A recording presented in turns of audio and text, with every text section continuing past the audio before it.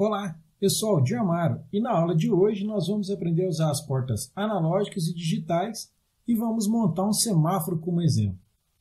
O esquema de ligação é esse e o que você vai usar é simplesmente seis LEDs, dois vermelhos, dois amarelos, dois verdes. Eu usei um azul e na hora que eu estava montando não achei a minha caixinha de LED e acabei colocando o azul no lugar de um verde. Você vai precisar ainda do Arduino, uma protoboard, dois resistores de 220 e quatro resistores de 150K. O esquema de ligação é bem simples. Você vai colocando os negativos todos na protoboard e já aproveita e já liga lá no GND. Depois você vai inserindo os LEDs e vai colocando um resistor em cada uma das perninhas do, GND, do negativo, do catodo, e aí depois você vai ligando as perninhas do anodo lá nas portas 5, 6, 9, 11, 12, 13. Segue aí o esquema que vai dar tudo certo. Eu vou importar alguns trajes só para deixar o negócio um pouco mais divertido. Eu posso excluir o primeiro. Eu vou fazer o seguinte: como não vai dar para simular os dois aqui ao mesmo tempo, os dois semáforos, eu vou criar um outro objeto aqui só para fazer uma simulação. Já já vocês vão entender por que, que eu fiz isso. Muito bem. No primeiro, que está o Arduino conectado, eu preciso já fazer aquele comandinho clássico. Quando clicado, eu vou fazer o seguinte, eu vou apagar todos os LEDs. Então, para isso, eu vou em movimento e vou pegar aqui, ó, digital off, as portas 13, 12, 11 e as portas analógicas.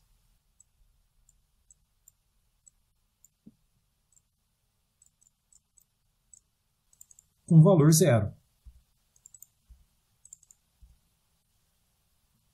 Depois disso, eu vou mandar ele iniciar através desse comandinho aqui. Anuncie. A partir daqui, quando ele ouvir iniciar, ele vai começar a executar a rotina. Primeiramente, eu vou mudar aqui o semáforo, pegando a aparência dele. Vermelho. Se eu já clicar, já estava em vermelho.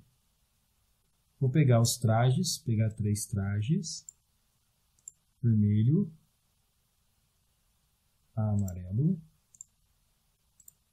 e verde.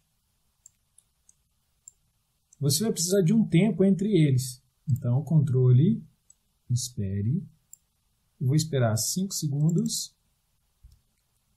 Depois, eu vou esperar 2 segundos no amarelo, depois eu espero mais 5 segundos no verde. Eu vou juntar todos eles.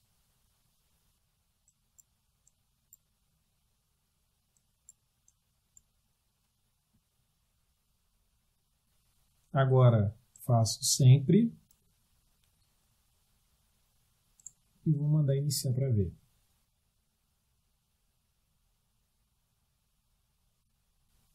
Até aqui, bem simples, facinho. Eu vou fazer a mesma coisa para o outro semáforo. Vou pegar esse aqui e vou jogar ele lá no outro. Tá? Joguei no de cá. Beleza. Só que aqui eu vou inverter a lógica.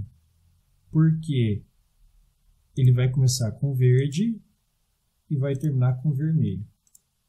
Para quando iniciar, um está vermelho e o outro sinal está verde, como se fosse um cruzamento.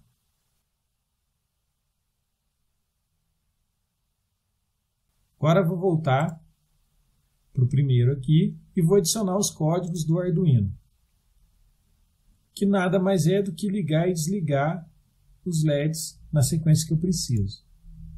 Então, eu já vou ligar aqui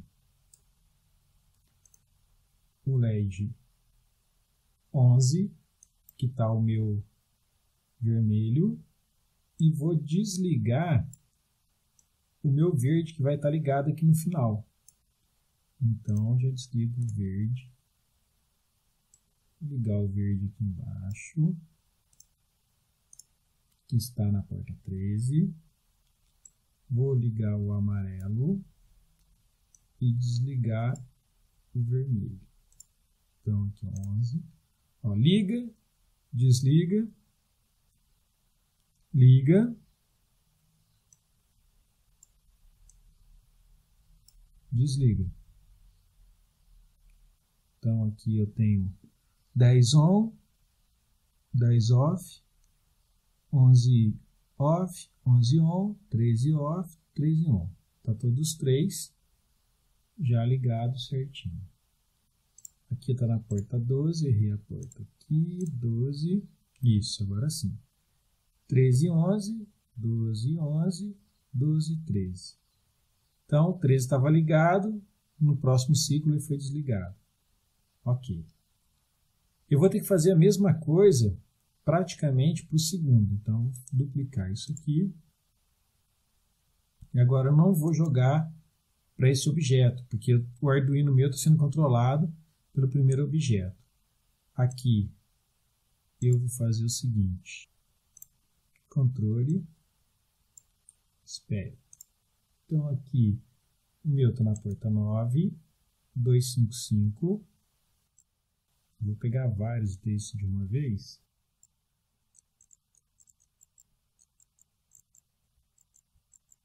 Então, eu tenho um 9 ligado,